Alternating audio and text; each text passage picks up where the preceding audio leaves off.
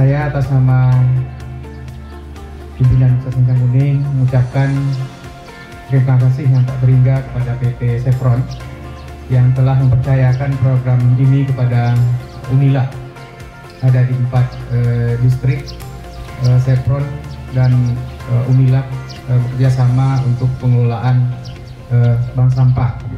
Dan tentu juga kami berterima kasih kepada Pak Wali yang juga eh, memberikan dukungan dalam pelaksanaan eh, kegiatan ini.